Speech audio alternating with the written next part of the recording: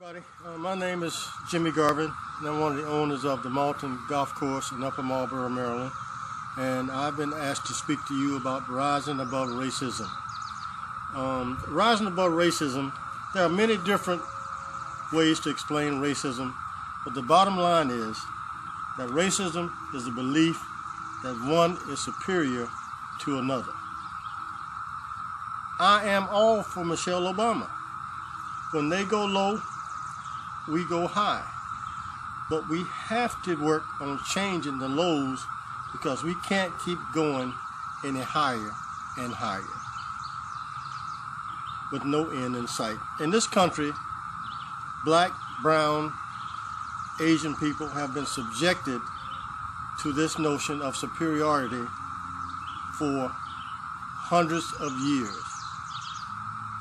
With all the social disparities and injustices witnessed this past year, all the civil rights injustices perpetrated upon young black men and women, the ridiculous prison sentence handed out like free water, and the openly physical attacks and gun violence have escalated and keeps getting worse. One has to wonder when it when, if, how can change occur and all people are treated equally if laws, diversity, training, and ways of general respect for others aren't changed and changed and challenged and changed. I'm sorry. We know that a community of like minded individuals pulling in the same direction ignites a spark, and we have to fan that flame keep pushing for equality and demand change. And we have to continue pushing for change and equality in a civil manner. I don't have the answers. Generations of learned activists, civil rights leaders, political figures, and fed up youth have all jumped in to tackle this issue. And here we are in 2021 having the same conversation. Stand up. Take notice that black lives matter, that Asian lives matter. No matter if they're different from yours, their lives matter. The one thing we have learned is that raising our voices, marching together, and never giving up keeps the issue on the front line. You may think that voting does not work. No matter but the no matter but electing like-minded people gives us a voice. Speaking up against injustice wherever it exists. Educating our youth and those around us gives us a voice.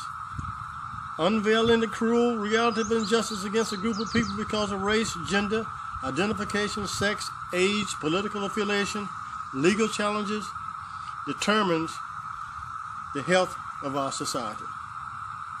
Our change we can change, but I challenge you to stand up for right. Keep standing up for right. Raise your voices and above the noise of those who will not accept change. The January insurrection and who will most likely not suffer any repercussions were those folks who were racist. They did not like the fact that we were in a position where we, we were going to succeed as a society with the new president.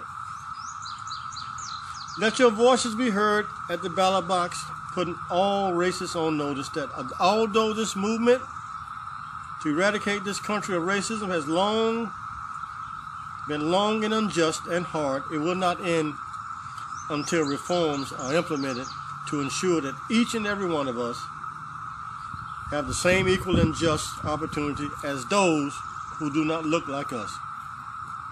We all know the Constitution of the United States and the Declaration of Independence were written for different times. These are the go-to documents to govern our country. I say raise your voice until our rights detailed in both these documents are being accepted by those who do not look like us.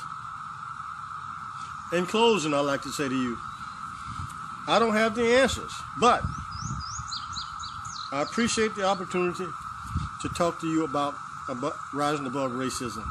We need to talk about legal disparities. We need to talk about health disparities. We need to talk about educational disparities. We need to talk about college and university and generational wealth disparities, and also homophobia. Let me end by giving you a few statistics in the world in which I live, which is the golf industry. The golf industry is an $84 billion a year enterprise. Within that $84 billion a year, there's 2 million jobs. And I can guarantee you that only between 7 and 10% are minorities, or black, or African American. There's also over 15,000 golf courses in the United States, and only a handful are owned and operated by African Americans. We have to stand up, we have to fight, we have to challenge, we have to change our way of thinking as relates to how we get what we need. But most of all, if we do this together, we can and we will win the fight against racism. Stay strong, stay true, be healthy. May God bless. Thank you for the opportunity.